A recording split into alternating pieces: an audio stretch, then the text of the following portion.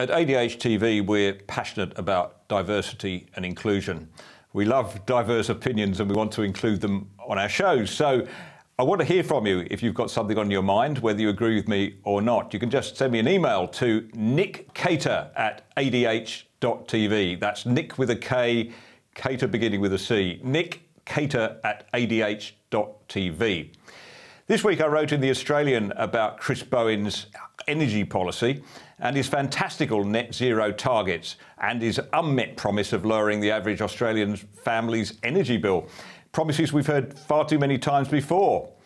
Mark wrote, Can we please stop referring to solar panels and wind farms as renewables? They are weather dependent generators, nothing more. Dumping millions of tonnes of solar panels into landfills is not renewable.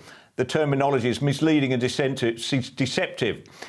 Vince says the only reason nuclear is not being considered is that too many rent-seeking financiers with their tongues hanging out to get to the sticky get their sticky fingers on government guaranteed profits from investing in subsidised renewables to meet Chris Bowen's target.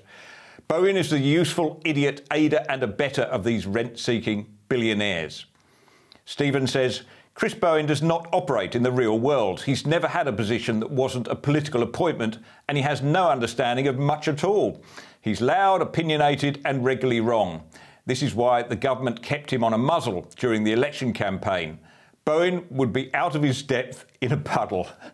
Kevin says, Chris Bowen reminds me of a TV salesman I came across recently, bombastic in his attitude and very little knowledge of the product he was trying to sell. Obviously, I went umwhere, umwhere elsewhere, but we're stuck with Bowen when it comes to energy. Marcus says China is rubbing its hands with glee as we purchase solar panels and wind tur turbines from them to decarbonise the economy. Albo's promise to bring more manufacturing to Australian shores will be difficult if we don't have base load reliable power supply. Time to bring on the debate of nuclear energy. Hear, hear. Rod says Australia's energy policy is incoherent. Talk about blind faith. Faith that we can cover the country with wind and solar farms without dire consequences for the environment will prove to be a terrible deception. Worse, by the time the environmental disaster is, is at its peak, we'll be too poor to fix it.